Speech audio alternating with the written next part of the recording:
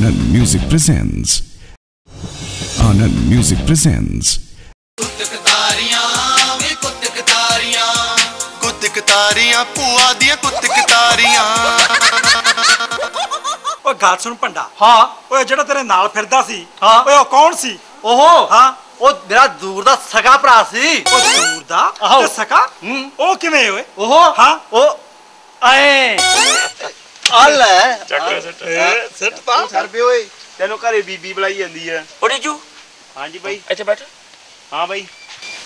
ਉਹ ਵਿਆਹ ਤਾਂ ਕੰਜਰਾ ਤੇਰਾ ਹੋਇਆ ਨਹੀਂ ਤੇ ਜਵਾਕੀ ਦਾ ਲਈ ਫਿਰਦਾ ਹੋਇਆ ਇਹ ਬਾਈ ਮੇਰਾ ਨਾ ਇਹ ਦੂਰ ਦਾ ਸਕਾ ਭਰਾ।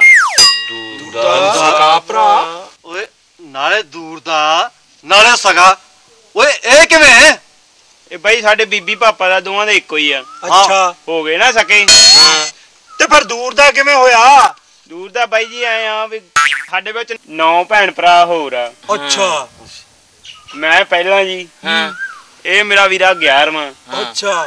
ਤੇ ਹੋ ਗਏ ਨਾ ਅਸੀਂ ਦੋਨੋਂ ਦੂਰ ਦੇ ਸਕੇ ਭਰਾ। ਹਾਂ। ਓਏ ਜਦੋਂ ਜਾਗਰ ਦੀ ਬੇਬੇ ਮਰ ਗਈ ਸੀ ਹਾਂ। ਓਏ ਉਦੋਂ ਕੀ ਰੌਲਾ ਪੈ ਗਿਆ ਸੀ? ਨਾ ਤੈਨੂੰ ਨਹੀਂ ਪਤਾ। ਨਾ ਮੈਨੂੰ ਨਹੀਂ ਪਤਾ। ਓਏ ਉਦੋਂ ਤਾਂ ਆ ਪੰਗਾ ਪੈ ਗਿਆ ਸੀ। ਮੇਰਾ ਤਾਂ ਕਿਤੇ ਨਾ ਜਲੇਬੀਆਂ ਖਾਣ ਨੂੰ ਚਿੱਤ ਕਰਦਾ ਸੀ ਕੁੜੇ। ਕਿਉਂ? ਕੌਣ ਮਰ ਗਈ? ਨੀ ਸਿਮਲੋ ਜਿਜਲਾ ਹੀ ਅੱਜ ਰੱਬ ਨੂੰ ਪਿਆਰੀ ਹੋ ਗਈ। ਅੱਛਾ ਫੇਰ ਤਾਂ ਜਲੇਬੀਆਂ ਖਾਵਾਂਗੇ। ਖਾਵਾਂਗੇ ਚੱਲ। ਮੈਂ ਤਾਂ ਸਵੇਰ ਦੀ ਭੁੱਖ ਨਹੀਂ ਕੁੜੇ।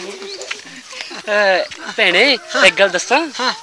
ਵਧਾਈਆਂ ਹੁਣ ਤੈਨੂੰ। ਤੈਨੂੰ ਵੀ ਭੈਣੇ। ਅਹ ਮੇਰਾ ਜਿਹੜਾ ਭਰਾ ਨਹੀਂ ਗੋਰਾ ਸਿੰਘਾਂ ਵਾਲੇ ਤੋਂ। ਸੋਹਣੂ ਦਾ ਮੁੰਡਾ। ਹਾਂ ਹਾਂ ਸੋਹਣਾ। ਉਹਦੇ ਮੁੰਡਾ ਹੋਇਆ। ਸੋਹਣ ਦਾ ਮੁੰਡਾ ਹੋ ਗਿਆ। ਫਿਰ ਨਹੀਂ ਨਹੀਂ ਗੋਰੇ ਦੇ ਹੋਇਆ। ਅੱਛਾ ਕੁੜੇ ਵਧਾਈਆਂ ਨੇ ਦੂਰੀਆਂ ਪੀਰੀਆਂ ਸਭ ਵਧਾਈਆਂ ਨੇ।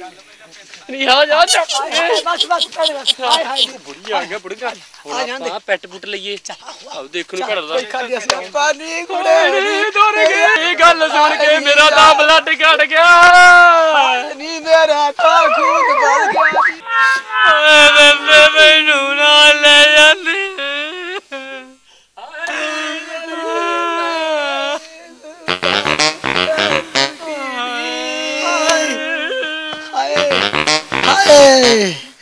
ਨੀ ਤੇਰੇ ਬਿਨਾ ਹੁਣ दारू ਕੌਣ ਕਢਾਊ? ਮੇਰੇ ਨਾਲ ਮੇਰੀਏ ਭੈਣੇ। ਨੀ ਮੈਨੂੰ ਨਾਲ ਲੈ ਜਾਂਦੀ। ਓ ਬੇਬੇ ਮੈਨੂੰ ਹੀ ਲੈ ਜਾਂਦੀ।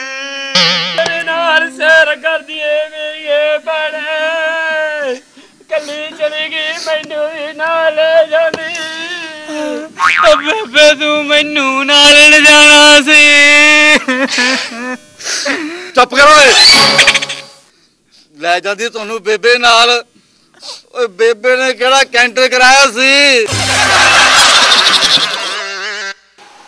ਓ ਗੱਲ ਸੁਣ ਭੰਡਾ ਹਾਂ ਉਹ ਤੂੰ ਵੀ ਐਡਾ ਵੱਡਾ ਕਲਾਕਾਰ ਬਣ ਗਿਆ। ਓ ਤੂੰ ਵੀ ਅਖਬਾਰ 'ਚ ਇਸ਼ਤਿਹਾਰ ਦੇ ਦੇਣਾ ਸੀ। ਓ ਨਾ ਬਾਬਾ ਨਾ। ਮੈਂ ਨਹੀਂ ਦਿੰਦਾ ਇਸ਼ਤਿਹਾਰ ਸੂਰ। ਓ ਕਿਉਂ? ਹਾਂ ਜੋ ਜਾਗਰ ਦੀ ਬੇਬੇ ਮਰੀ ਸੀ ਨਾ। ਹਾਂ। ਉਹ ਗਏ ਸੀ ਅਸੀਂ ਇਸ਼ਤਿਹਾਰ ਦੇਣ।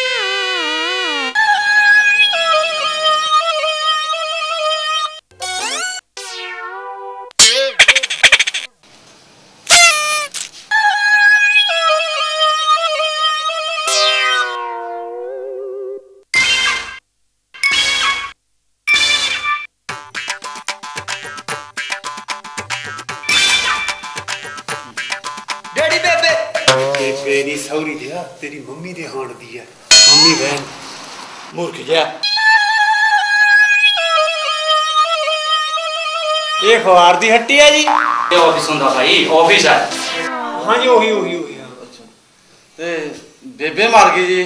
ਇਹ ਚ ਭਾਈ ਮੇਰਾ ਕੀ ਯੋਗਦਾਨ? ਨਹੀਂ ਜੀ ਅਸੀਂ ਫੋਟੋ ਲਵਾਉਣੀ ਆ। ਆ ਸਾਡੇ ਦਫ਼ਤਰ ਚ? ਨਹੀਂ ਜੀ ਆ ਅਖਬਾਰ ਦੇ ਵਿੱਚ ਭੋਗ ਵਾਲੀ। ਆ ਅੱਛਾ ਅੱਛਾ ਅੱਛਾ ਅੱਛਾ। ਹਾਂਜੀ। ਕੋਈ ਨਹੀਂ ਲਾ ਲਾਂਗੇ ਹਾਂਜੀ ਕਿੰਨੇ ਪੈਸੇ ਲੱਗਣਗੇ? ਆ ਤੁਹਾਡੇ ਲਈ ਕੋਈ 5000 ਰੁਪਏ ਆਈ 5000 ਨਹੀਂ ਨਹੀਂ। ਅਸੀਂ ਤਾਂ ਰੁਪਈਆ ਦੇਣਾ ਪੂਰਾ 500 ਕਿਉਂ? ਲਾ ਜੇ 5000 ਹੁੰਦਾ ਤੇ 5000 ਦੀ ਅਸੀਂ ਬੇਬੇ ਨਾਲ ਨਵੀਂ ਲਿਆਉਂਦੇ। ਓਏ ਗੱਲ ਸੁਣ ਓਏ। ਹਾਂ? ਤੂੰ ਸਾਡੀ ਕੁੜੀ ਦੇ ਵਿਆਹ ਤੇ ਨਹੀਂ ਆਇਆ। ਮੈਂ ਸਹੁਰੇ ਗਿਆ ਸੀ ਆ। ਕਿਹਾ ਸੀ ਸੌਰੀ ਤੂੰ ਹਾਂ। ਉਹ ਫਿਰ ਤੁਸੀਂ ਕੁੜੀ ਦਾ ਵਿਆਹ ਕਰਤਾ? ਉਹ ਬੜੀ ਧੂਮ ਧਾਮ ਨਾਲ ਕੀਤਾ ਵਿਆਹ ਸੀ। ਅੱਛਾ ਬੜੀ ਧੂਮ ਧਾਮ ਨਾਲ ਪਰ ਵਿੱਚ ਇੱਕ ਪੰਗਾ ਪੈ ਗਿਆ ਭੰਡਾ। ਉਹ ਕੀ ਪੰਗਾ ਪੈ ਗਿਆ? ਉਹ ਮੁੰਡੇ ਵਾਲਿਆਂ ਨੇ ਹਾਂ। ਸਾਡੀ ਬੇਬੇ ਨੂੰ ਐਡੀ ਵੱਡੀ ਲਿਸਟ ਦੇ ਦਿੱਤੀ। ਅੱਛਾ। ਆਹ ਸਮਾਨ ਦਿਓ। ਹਾਂ। ਆਹ ਸਮਾਨ ਦਿਓ। ਅੱਛਾ ਆਹ ਵੀ ਦਿਓ ਫਿਰ? ਇੰਨਾ। ਅੱਛਾ ਇੰਨਾ। ਹਾਂ। ਤੇ ਫਿਰ ਦਿੱਤਾ? ਫਿਰ ਮੇਰੀ ਬੇਬੇ ਨੇ ਮੌਕਾ ਸੰਭਾਲ ਲਿਆ। ਮੌਕਾ ਸੰਭਾਲ ਲਿਆ? ਹਾਂ। ਓਏ ਉਹ ਕਿਵੇਂ ਓਏ ਉਹ ਆਏ।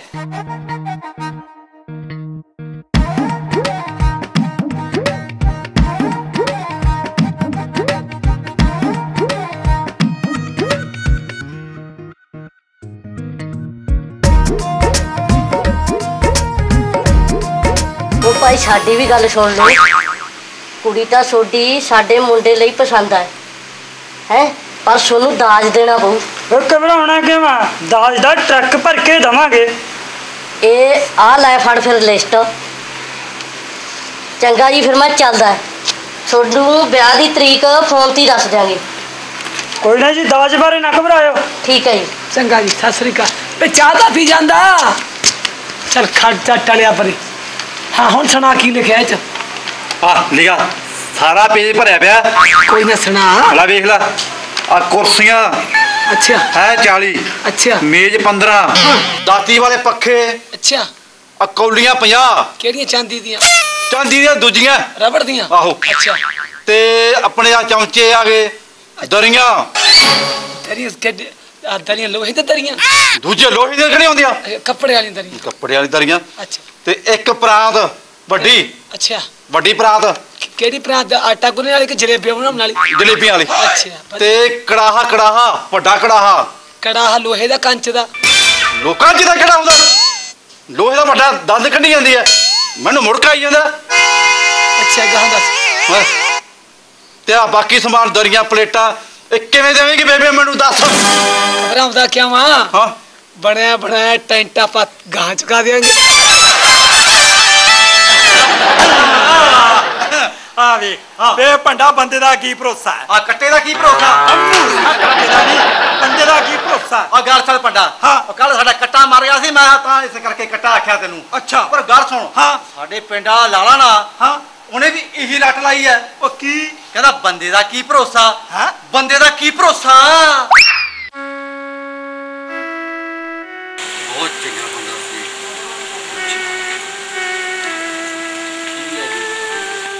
ਕੀ ਹੋ ਗਿਆ ਭਾਈ? ਆ ਦੇਖੋ ਲਾਲਾ ਜੀ ਮਰ ਗਿਆ। ਸੱਚੋ ਮਰ ਗਿਆ? ਕਿੰਨਾ ਨੌਜਵਾਨ ਮੁੰਡਾ ਸੀ। ਰੱਬ ਨੇ ਕੁਝ ਨਹੀਂ ਸੋਚਿਆ ਲਾਲਾ ਜੀ ਕੁਝ ਨਹੀਂ ਸੋਚਿਆ। ਆ ਬੰਦੇ ਦਾ ਕੀ ਭਰੋਸਾ? ਹਾਂ ਜਬ ਸ਼ੋਲਾ ਨਿਕਲ ਕੇ ਹੀ ਹੈ। ਬੰਦੇ ਤੇ ਕੀ ਭਰੋਸਾ ਹੈ? ਲਾਲਾ ਜੀ ਆ ਹੁਣੇ ਹੁਣੇ ਘਰੋਂ ਬਾਹਰ ਨਿਕਲਿਆ ਸੀ। ਤੇ ਰਸਤੇ ਦੇ ਵਿੱਚ ਹੀ ਪਤਾ ਨਹੀਂ ਕੀ ਹੋ ਗਿਆ। ਡਿੱਗ ਪਿਆ ਇਹ। ਓਹੋ ਉਹੀ ਤਾਂ ਗੱਲ ਹੈ ਵੀ ਬੰਦੇ ਤੇ ਕੀ ਭਰੋਸਾ ਹੈ ਕਦ ਭੂਖ ਨਿਕਲ ਜੇ। ਹਾਂਜੀ ਕੋਈ ਭਰੋਸਾ ਨਹੀਂ ਜੀ ਬੰਦੇ ਬੰਦੇ ਦਾ ਕੱਲਾ ਕੱਲਾ ਭਰਾ ਸੀ ਇਹ। ਬੰਦੇ ਦਾ ਕੋਈ ਭਰੋਸਾ ਨਹੀਂ ਲਾਲਾ ਜੀ।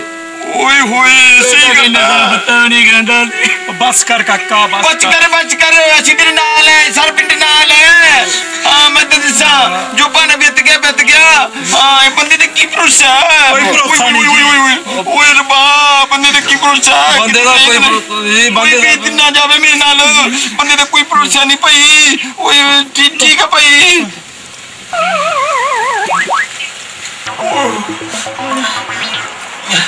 ਓਏ ਓਏ ਬੰਦੇ ਦਾ ਕੋਈ ਭਰੋਸਾ ਹੈ? ਲੱਗਾ ਸੋਦਾ ਕੱਲ ਪਟਾਕਾ ਪੈ ਗਿਆ। ਸਾਰੇ ਲੋਕ ਕਹੀ ਜਾਂਦੇ ਸੀ ਵੀ ਬੰਦੇ ਦਾ ਕੋਈ ਭਰੋਸਾ ਹੈ। ਸਹੀ ਗੱਲ ਹੈ। ਬੰਦੇ ਦਾ ਕੋਈ ਭਰੋਸਾ ਨਹੀਂ ਕਦੋਂ ਕੀ ਹੋ ਜੇ। ਲਾਲ ਮਹਾਰਾਜ। ਲਾਲਾ ਜੀ ਆ 12 ਵੱਜ ਗਿਆ ਤੇ ਹੁਣ ਘਰੇ ਨਹੀਂ ਜਾਣਾ। ਉਹ 12 ਦਾ ਵੱਜਣੀ ਹੈ ਜਿਹੜੀ ਲక్ష్ਮੀ ਕਮਾਉਣੀ ਉਹ ਕਮਾ ਲਈਏ। ਹਾਂ। ਬੰਦੇ ਦਾ ਕੋਈ ਭਰੋਸਾ ਓਏ ਗੱਲ ਸੁਣ ਪੰਡਾ। ਆ ਮਰਨ ਮਰਾਉਣ ਵਾਲੀਆਂ ਗੱਲਾਂ ਛੱਡ। ਛੱਡ। ਓਏ ਖੁਸ਼ੀ ਤੇ ਆਏ ਆ ਆਪਾਂ। ਆਏ ਆ। ਹਾਂ ਤੂੰ ਭੂਆ ਦੀ ਗੱਲ ਸੁਣਾ। ਆ ਮੇਰੀ ਬੇਬੇ ਦੀ? ਹਾਂ ਹਾਂ ਬੇਬੇ ਦੀ। ਗੱਲ ਸੁਣਾ। ਹਾਂ। ਮੇਰੀ ਬੇਬੇ ਦਾ ਬੜੀਆਂ ਰੌਣਕਾਂ ਲਾਉਂਦੀ ਐ। ਅੱਛਾ ਬੜੀਆਂ ਰੌਣਕਾਂ ਲਾਉਂਦੀਆਂ? ਹਾਂ। ਓਏ ਉਹ ਕਿਵੇਂ? ਉਹ ਆਏ।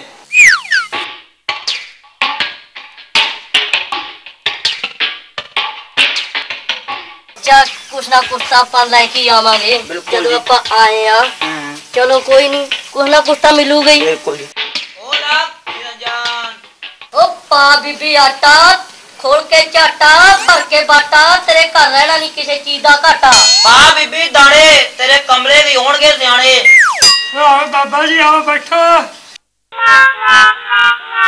ਬਾਬਾ ਜੀ ਮੈਂ ਪੁੱਛ ਕੇ ਆਉਣਾ ਕੈਲੋ ਨੂੰ ਵੀ ਕੀ ਦਈਏ? ਠੀਕ ਮਚਾ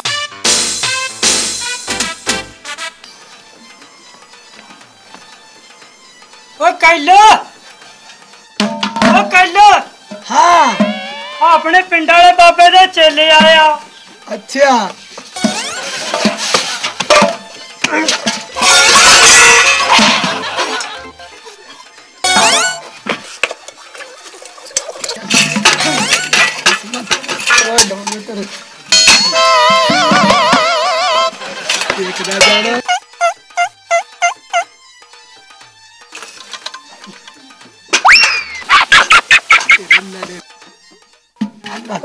ਕੁਛ ਨਾ ਕੁਛ ਤਾਂ ਦੇਣਾ ਹੀ ਪਊ ਉਹ ਮੈਂ ਕਹਿੰਦਾ ਆਟੇ ਦੀ ਕੌਲੀ ਦੇ ਦਿੰਨੇ ਆ ਤਾਂ ਕਿਆ ਰਹਿ ਬਹੁਤ ਮਹਿੰਗਾ ਆਟਾ ਤਾਂ ਉਹ ਫਿਰ ਦਾਲ ਦੀ ਕੌਲੀ ਦੇ ਦਿੰਨੇ ਆ ਦਾਲ ਨੂੰ ਤਾਂ ਊਂ ਅੱਗ ਲੱਗੀ ਪਈ ਹੈ 40 ਰੁਪਏ ਕਿਲੋ ਆ ਰਹਿਣ ਦੇ ਤੂੰ ਉਹ ਫਿਰ ਖੰਡ ਦੀ ਕੌਲੀ ਦੇ ਦਿੰਨੇ ਆ ਨਾ ਬਾਪਿਆਂ ਨੂੰ ਤਾਂ ਸ਼ੂਗਰ ਕਰਾਉਣਾ ਉਹ ਫਿਰ ਚੌਲਾਂ ਦੀ ਕੌਲੀ ਪਾ ਦਿੰਨੇ ਆ ਮੈਂ ਜੋ ਇਹ ਜੀ ਭਜਨੇ ਆ ਉਹ ਹੋਰ ਕੀ ਦਈਏ ਬਾਬੇ ਨੂੰ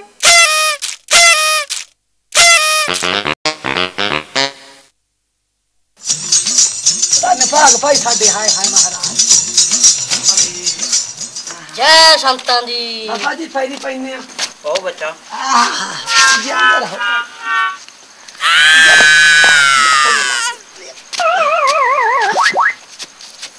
ਹਾਂ ਬੀਬਾ ਹੁਣ ਤਾਂ ਸੰਤਾਂ ਨੂੰ ਕੁਛ ਨਾ ਕੁਛ ਦੇਣਾ ਹੀ ਪਊ। ਜਿਹੜਾ ਮੈਂ ਤੈਨੂੰ ਦਿੱਤਾ ਤੀ ਆੜੀਆ। ਓਏ ਆਈਡੀਆ ਨਹੀਂ ਆਈਡੀਆ। ਆਈਡੀਆ। ਹਾਂ। ਉਹ ਦੇ ਬਾਬਿਆਂ ਨੂੰ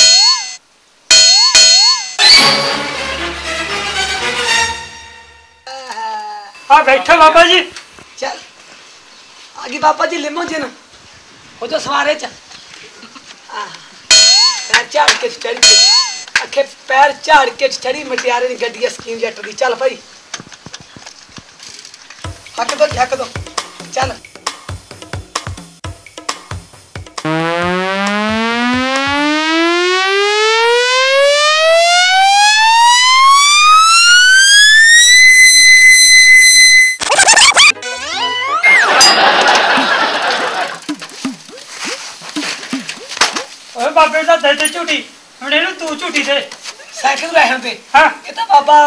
ਦੀ ਹੌਲਾ ਜਿਹੀ ਆ ਤੂੰ ਗੋਦੀ ਚੱਕ ਕੇ ਦੇ ਦਿੰਨੀ ਆ ਜਾ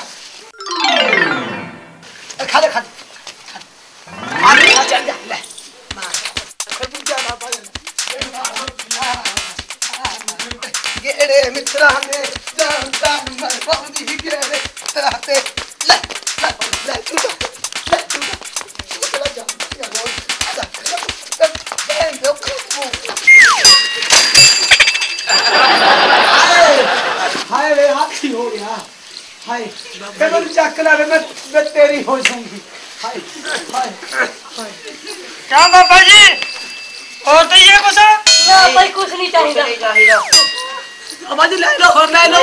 ਬੱਚਾ ਆ ਜਾਓ ਆ ਜਾਓ ਹੁਣ ਤਾਂ ਨਗਰ ਖੇੜਾ ਖੁੱਲਾ ਹੀ ਆ ਜਾਓ। ਕਿਉਂ ਕਰ ਲੋ ਦੇ ਤੇ ਝੂਟੇ। ਇਹੀ ਤਾਂ ਫਿਰ ਆੜੀਆ ਓਏ ਗੱਲ ਸੁਣ ਓਏ। ਆ ਤੇਰੇ ਮੂੰਹ 'ਚ ਮੁਸ਼ਕ ਜਾ ਮਾਰਦਾ ਓਏ। ਓਏ ਮੁਸ਼ਕ ਨਹੀਂ ਹੁੰਦੀ ਬੇਕੂਫਾ। ਹਾਂ। ਇਹ ਬਦਬੂ ਹੁੰਦੀ ਆ। ਓਏ ਦਾਰੂ ਪੀਤੀ ਆ ਬਾਲੀ ਦਾਣੀ ਪੀਤੀ ਦੋ ਪੈਗ ਲਾਏ ਫਿਰ ਕੀ ਹੋ ਗਿਆ ਓਏ? ਓ ਦੋ ਪੈਗ? ਆਹੋ। ਓਏ ਉਹ ਕਾਸੋਂ ਉਹ ਮੈਨੂੰ ਸਕੇਵਾ ਜਾ ਹੋ ਗਿਆ ਸੀ। ਓ ਤਕੇਵਾ ਓ ਕਾਵਾ ਉਹ ਗੱਲ ਸੁਣ ਓਏ। ਹਾਂ। ਅਸੀਂ ਲਾਇਆ ਸੀ ਕੈਂਪ। ਅੱਛਾ। ਤੇ ਮੈਂ ਭੱਜ ਭੱਜ ਕਰਦਾ ਸੀ ਕੰਮ। ਅੱਜ ਭੱਜ ਕਰਦਾ ਸੀ ਕੰਮ। ਹਾਂ ਕਿਤੇ ਕੁਰਸੀ ਚੱਕ ਲਿਆਂਦੀ। ਕਿਤੇ ਮੇਜ਼ ਚੱਕ ਲਿਆਂਦਾ। ਕਿਤੇ ਜੱਗ ਚੱਕ ਲਿਆਂਦਾ। ਕਿਤੇ ਗਲਾਸ ਚੱਕ ਲਿਆਂਦਾ। ਕਿਤੇ ਦਰੀਆਂ ਵਿਛਾ ਦੀਆਂ ਤੇ ਕੁਛ ਕਰਦਾ ਪਰ ਸਕੇਵਾ ਹੋ ਹੀ ਜਾਂਦਾ ਹੈ। ਮੈਂ ਕੈਂਪ ਲਾਇਆ ਕਾਦਾ ਸੀ? ਅਸੀਂ? ਹਾਂ। ਅਸੀਂ ਨਸ਼ਾ ਛਡਾਓ ਕੈਂਪ ਲਾਇਆ ਸੀ। ਤੇਰੇ ਹਜੇ ਦੇ। ਕੀ ਹੋ ਗਿਆ? ਆਪ ਨਸ਼ੇ ਕਰਦੇ ਲੋਕਾਂ ਨੂੰ ਨਸ਼ੇ ਛਡਾਉਂਦੇ ਆ। ਓ ਗੱਲ ਸੁਣ ਹਾਂ। ਇਹ ਤਾਂ ਬਹੁਤ ਕੁਝ ਹੋ ਗਿਆ। ਹੋ ਗਿਆ। ਓ ਕੋਈ ਖਬਰਸਾਰ ਸੁਣਾ। ਖਬਰਾਂ ਸੁਣਨੀਆਂ? ਹਾਂ ਹਾਂ ਖਬਰਾਂ। ਆ ਜਾ ਫਿਰ ਇਹ ਆ ਲੈ। ਅੱਜ ਅਸੀਂ ਤੁਹਾਨੂੰ ਆਪਣੇ ਟੀਵੀ ਸਟਾਰ ਤੋਂ ਕੁਝ ਚੋਣੀਆਂ ਖਬਰਾਂ ਪੇਸ਼ ਕਰਦੇ ਹਾਂ। ਜਿਵੇਂ ਕਿ ਪ੍ਰਧਾਨ ਮੰਤਰੀ ਗੱਡੀ ਪੈਂਚਰ ਵਿਰੋਧੀ ਤਿਰਖਫਾ ਪ੍ਰਿੰਟੀ ਜਤਾ ਦਾ ਕੁੱਤੇ ਨੱਟ ਕਰਾਉਣਾ ਪੁੱਕੀ ਦਾ ਪੰਡਾਰ ਬੱਚਿਆਂ ਦੀ ਪੜ੍ਹਾਈ ਨੂੰ ਨਸ਼ਟ ਕਰਨ ਵਾਲੀ ਖੇਡ ਬਾਰੇ ਖਬਰਾਂ, ਮੌਸਮ ਦੀ ਜਾਣਕਾਰੀ। ਅੱਜ ਪ੍ਰਧਾਨ ਮੰਤਰੀ ਉਹਦੀ ਗੱਡੀ ਉਸ ਵੇਲੇ ਪੈਂਚਰ ਹੋ ਗਈ ਜਦੋਂ ਮੋਗੇ ਤੋਂ ਚੰਡੀਗੜ੍ਹ ਸਰਕਸ ਵੇਖਣ ਜਾ ਰਹੇ ਸਨ। ਪ੍ਰਧਾਨ ਮੰਤਰੀ ਦਾ ਅਬਲਾ ਹਰਕਤ ਵਿੱਚ ਆ ਗਿਆ। ਪ੍ਰਧਾਨ ਮੰਤਰੀ ਨੇ ਸੀਬੀਆਈ ਨੂੰ ਇਸ ਦੀ ਜਾਂਚ ਬਾਰੇ ਕਹਿ ਦਿੱਤਾ, ਕਿਉਂਕਿ ਉਹ ਕਹਿੰਦੇ ਹਨ ਕਿ ਜੀਟੀ ਰੋਡ ਤੇ ਕਿਲ ਕਿੱਥੋਂ ਕਿਵੇਂ ਕਿਨੇ ਸਟਿਆ। ਅਗਲੀ ਖਬਰ, ਉਧਰ ਵਿਰੋਧੀ ਧਿਰ ਦੀ ਪਾਰਟੀ ਦੇ ਜਨਰਲ ਸਕੱਤਰ ਦੇ ਢਿੱਡ ਵਿੱਚ ਅਚਾਨਕ ਪੀੜ ਨਿਕਲੀ। ਪਾਰਟੀ ਪ੍ਰਧਾਨ ਸ੍ਰੀ ਬਸ਼ੰਬਰ ਦਾਸ ਗੁਪਤਾ ਮੱਕੜ ਜੀ ਨੇ ਆਖਿਆ ਕਿ ਪਾਰਟੀ ਪ੍ਰਧਾਨ ਦੇ ਢਿੱਡ ਵਿੱਚ ਕਿਸੇ ਵਿਰੋਧੀ ਧਿਰ ਦਾ ਹੱਥ ਹੋ ਸਕਦਾ ਹੈ। ਉਹਨਾਂ ਨੂੰ ਪੀਜੀਆਈ ਰੈਫਰ ਕਰ ਦਿੱਤਾ। ਡਾਕਟਰਾਂ ਨੇ ਦੱਸਿਆ ਕਿ ਉਹਨਾਂ ਦੀ ਹਾਲਤ ਖਤਰੇ ਤੋਂ ਬਾਹਰ ਹੈ। ਫਿਲਮੀ ਦੁਨੀਆ ਵਿੱਚ ਉਸ ਵੇਲੇ ਹਲਚਲ ਮਚ ਗਈ ਜਦੋਂ ਮੁਹਾਲੀ ਵਿੱਚ ਆਈ ਪ੍ਰੀਤੀ ਜੱਟਾ 버ਗਰ ਦੀ ਰੇੜੀ ਤੋਂ ਛੋਲੇ ਲੈਣ ਗਈ ਤੇ ਉਹਨਾਂ ਵਿੱਚ ਅਚਾਨਕ ਕੁੱਤਾ ਵੱਜਿਆ। ਪ੍ਰੀਤੀ ਜੱਟਾ ਜ਼ਖਮੀ ਹੋਈ ਤੇ ਕੁੱਤਾ ਵਾਲ-ਵਾਲ ਬਚ ਗਿਆ। ਪੁਲਿਸ ਨੇ ਕੁੱਤੇ ਖਿਲਾਫ 420 890 310 511 ਤਾਰਾ ਲਾ ਕੇ ਕੁੱਤੇ ਨੂੰ ਜੇਲ੍ਹ ਭੇਜ ਦਿੱਤਾ। ਉਹਨਾਂ ਨੇ ਪੱਤਰਕਾਰਾਂ ਨਾਲ ਗੱਲਬਾਤ ਕਰਦੇ ਹੋਏ ਕਿਹਾ ਕਿ ਅਗਰ ਕੁੱਤੇ ਬੁੜੀਆਂ ਵਿੱਚ ਵੱਜਣਗੇ ਤੇ ਫਿਰ ਅਸੀਂ ਕਿੱਥੇ ਜਾ ਕੱਲ ਥਾਣਾ ਸਦਰ ਵਿੱਚ ਬਹੁਤ ਭਾਰੀ ਮਾਤਰਾ ਵਿੱਚ ਪੁੱਕੀ ਫੜੀ ਗਈ। ਪੁਲਿਸ ਨੇ ਪੁੱਕੀ ਨੂੰ ਉੱਥੇ ਸ਼ਖਸ ਕਾ ਕਿ ਪੁੱਕੀ ਅਤੇ ਕੇਸ ਨੂੰ ਰਫਾ ਦਫਾ ਕੀਤਾ। ਭਾਰਤੀ ਕ੍ਰਿਕਟ ਟੀਮ ਦੀ ਮੈਨੇਜਮੈਂਟ ਨੇ ਬੜੀ ਸੋਚ ਵਿਚਾਰ ਤੋਂ ਬਾਅਦ ਟੈਸਟ ਦੇ ਕਪਤਾਨ ਅਨਿਲ ਕੋਬਰੇ ਨੂੰ ਬਣਾਇਆ, ਕਿਉਂਕਿ ਉਹਨਾਂ ਨੂੰ ਇਸ ਤੋਂ ਬਜ਼ੁਰਗ ਖਿਡਾਰੀ ਕੋਈ ਨਹੀਂ ਥਿਆਇਆ। ਉਹਨਾਂ ਨੇ ਸੋਚਿਆ ਕਿ ਜੇ ਕਪਤਾਨ ਟਿੱਲਾ ਹੋਵੇਗੀ, ਟੀਮ ਟਿੱਲੀ ਚੱਲੇਗੀ ਅਤੇ ਅਸੀਂ ਹਾਰਾਂ ਪ੍ਰਾਪਤ ਕਰਾਂਗੇ, ਜਿਸ ਨਾਲ ਦੇਸ਼ ਦਾ ਨਾਮ ਰੋਸ਼ਨ ਨਹੀਂ ਹੋਵੇਗਾ। ਕਿਉਂਕਿ ਦੇਸ਼ ਦਾ ਨਾਂ ਤਾਂ ਪਹਿਲਾਂ ਹੀ ਮੰਤਰੀ ਪੁਲਿਸ ਅਤੇ ਸਰਕਾਰੀ ਮਹਿਕਮੇ ਕਰ ਰਹੇ ਹਨ। ਉਹ ਪਹਿਲਾਂ ਹੀ ਨਲੀਆਂ ਗਲੀਆਂ ਅਤੇ ਗਰੀਬਾਂ ਦਾ ਖੂਨ ਪੀ ਕੇ ਦੇਸ਼ ਦਾ ਨਾਮ ਰੋਸ਼ਨ ਕਰ ਰਹੇ ਹਨ। ਹੋਰ ਤਾਂ ਹੋਰ ਦੇਸ਼ ਦਾ ਨਾਮ ਰੋਸ਼ਨ ਕਰਨ ਪਿੱਛੇ ਪਕਣਾ ਅਮਲੀ ਵੀ ਪਿੱਛੇ ਨਹੀਂ ਰਿਹਾ। ਆਹਾ! ਉਸ ਨੇ ਇੱਕ ਪੋਸਟਰ ਤੇ ਮੇਰਾ ਭਾਰਤ ਮਹਾਨ ਲਿਖਿਆ ਅਤੇ ਉਸ ਉੱਪਰ ਹਜ਼ਾਰ ਵੋਟ ਦਾ ਬਲਬ ਜਗਾਇਆ। ਇਸ ਤਰੀਕੇ ਨਾਲ ਉਸਨੇ ਦੇਸ਼ ਦਾ ਨਾਮ ਰੋਸ਼ਨ ਕੀਤਾ। ਬਾਕੀ ਸਾਡਾ ਮੀਡੀਆ ਵੀ ਦੇਸ਼ ਦਾ ਨਾਂ ਰੌਸ਼ਨ ਕਰਨ ਵਿੱਚ ਵਿੱਚ ਪਿੱਛੇ ਨਹੀਂ ਹਟਿਆ। ਜਿਵੇਂ ਕਿ ਕੋਈ ਝੂਠੀਆਂ ਖਬਰਾਂ ਨੂੰ ਮਸਾਲਾ ਲਾਉਣਾ, ਜਿਵੇਂ ਕਬੂਤਰਬਾਜੀ ਵਿੱਚ ਕਿਸੇ ਨੇ ਕਿਸੇ ਨੂੰ ਫਸਾਉਣਾ, ਜਿਹੜਾ ਉਹ ਫਸਿਆ ਉਸ ਨੂੰ ਗਾ ਕਿਸੇ ਨੇ ਫਸਾਉਣਾ। ਸਾਡਾ ਕੰਮ ਹੈ ਇੱਕ ਦੂਜੇ ਨਾਲ ਕੁੰਡੀਆਂ ਫਸਾਉਣਾ ਅਤੇ ਦੇਸ਼ ਦਾ ਨਾਂ ਚਮਕਾਉਣਾ। ਆਓ ਚੱਲੀਏ ਮੌਸਮ ਵਿਭਾਗ ਦੀ ਰਿਪੋਰਟ ਵੱਲ। ਕਿਤੇ ਕਿਤੇ ਮੌਸਮ ਵਿਭਾਗ ਸਾਨੂੰ ਰਿਪੋਰਟ ਭੇਜਦਾ ਰਹਿੰਦਾ ਕਿਤੇ ਕਿਤੇ ਗਲਤ ਵੀ ਹੋ ਸਕਦੀ ਕਿਤੇ ਕਿਤੇ ਸਹੀ।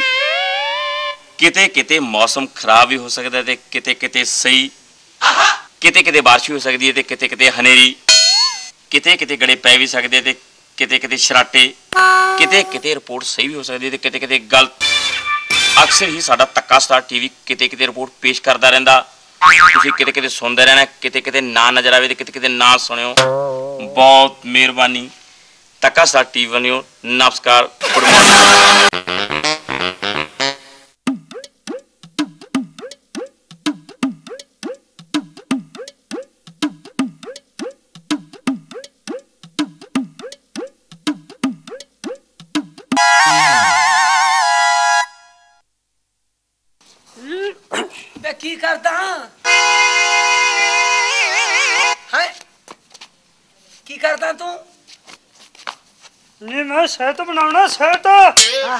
ਹਾਂ ਹਾਂ ਹਾਂ ਹੁਣ ਤੇ ਸਿਹਤ ਵਾਲੀ ਉਮਰ ਹੈ ਨਹੀਂ। ਜਾ ਕੇ ਮੈਂ ਸਾਨੂੰ ਪੱਠੇ ਪਾ ਦੇ। ਵੇ ਤੂੰ ਆਪੇ ਪਾਲਾ ਮੱਝਾਂ ਨੂੰ ਪੱਠੇ। ਹੁਣ ਤਾਂ ਮੈਂ ਕਬੱਡੀ ਖੇਡਿਆ ਕਰੂ ਕਬੱਡੀ। ਕਬੱਡੀ ਖੇਡਣੀ ਹੈ ਹੈ ਕਬੱਡੀ ਖੇਡਣੀ ਹੈ ਫਿਰ ਤੂੰ ਆਏ ਕਰ ਮੇਰੇ ਨਾਲ ਖੇਲ ਲਾ। ਅੱਛਾ। ਜਿਹੜਾ ਜਿੱਤ ਜੂ ਉਹੀ ਘਰ ਦਾ ਮੋਢੀ ਹੋ। ਕਰਦਾ ਮੋਟੀ ਤਾਂ ਮੈਂ ਹੀ ਬਣੂ। ਹੈ? ਆ ਜਾ ਫਿਰ। ਲੈ ਫਿਰ ਖੜ ਜਾ।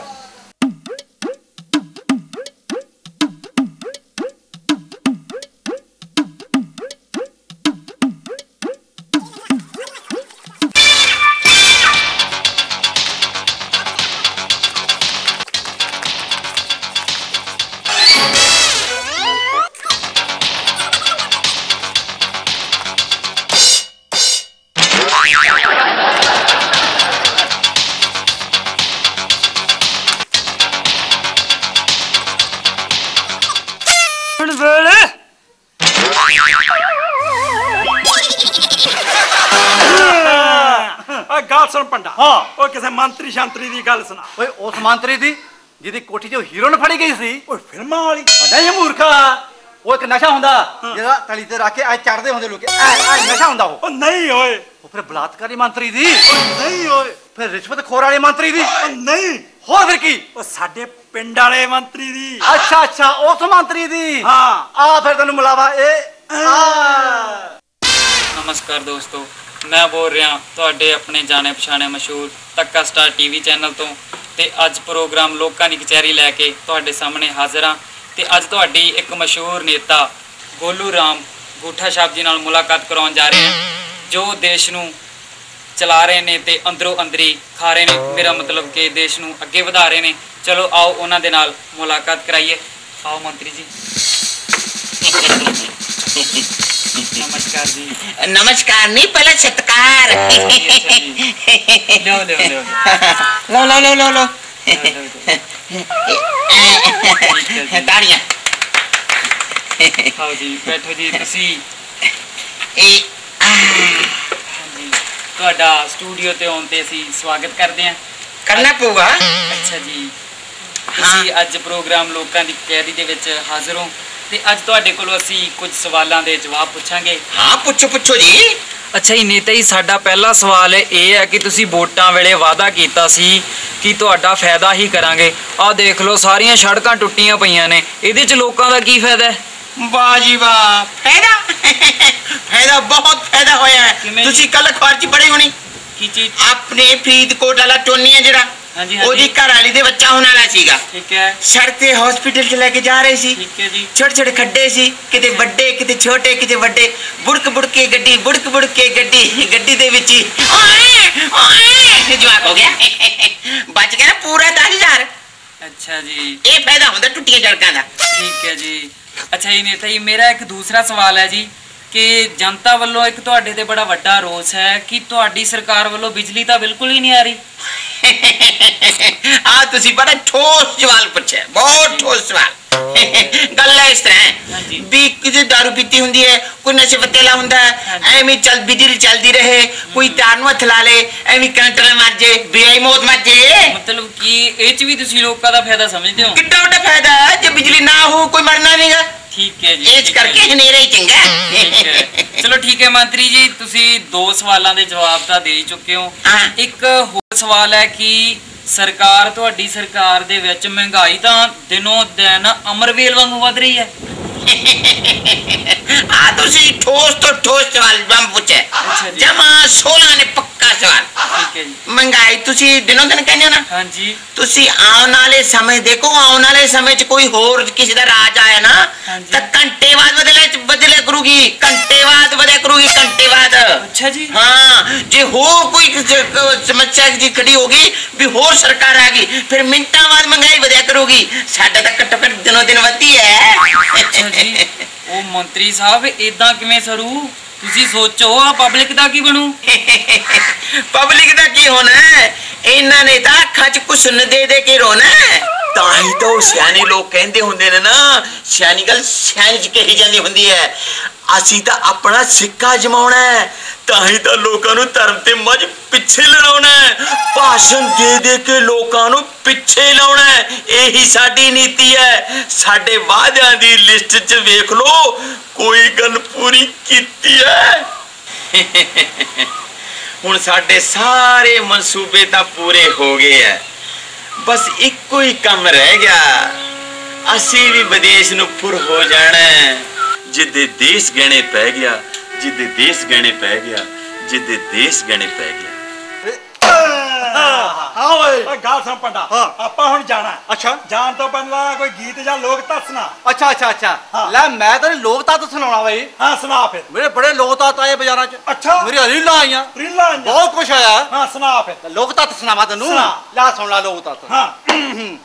ਹੋ ਮਾੜੇ ਕੰਮ ਦਾ ਨਤੀਜਾ ਹੁੰਦਾ ਮਾੜਾ ਓਏ ਪੰਡਾ ਓਏ। ਮਾੜੇ ਕੰਮ ਦਾ ਨਤੀਜਾ ਹੁੰਦਾ ਮਾੜਾ। ਬੱਲੇ। ਕਿਸੇ ਨੇ ਵਿੱਚੋਂ ਕੀ ਖੱਟਿਆ? ਮਾੜੇ ਕੰਮ ਦਾ ਨਤੀਜਾ ਮਾੜਾ ਹੁੰਦਾ ਨਾ। ਹਾਂ ਉਹ ਮਾੜੇ ਕੰਮ ਦਾ ਨਤੀਜਾ ਹੁੰਦਾ ਮਾੜਾ। ਕਿਸੇ ਨੇ ਵਿੱਚੋਂ ਕੀ ਖੱਟਿਆ? ਉਹ ਤੈਨੂੰ ਮੂਲੀਆਂ ਵਿਚਾਲੇ ਖੜੀ। ਪਟਿਆ। ਖੜੀ। ਵੇ ਕਿੰਡੀ ਕੋ ਗਲੂ ਗਿਆ ਨਾ ਪਟਿਆ। ਲੋਕ ਹਾਂ। ਆ ਲੋਕ ਤੱਤ ਤਾਂ ਮੈਂ ਦੱਸਦਾ। ਲੋਕ ਤੱਤ ਆ ਹੁੰਦੇ ਆ।